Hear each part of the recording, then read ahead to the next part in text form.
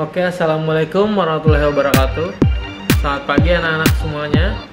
Uh, hari ini saya akan memberikan tutorial sedikit untuk membuat bola modifikasi bola kecil menggunakan kertas, lakban, dan gunting. Itu alat-alat yang perlu kalian siapkan.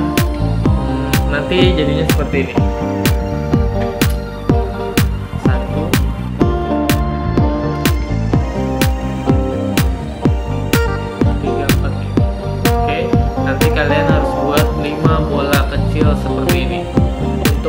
Thank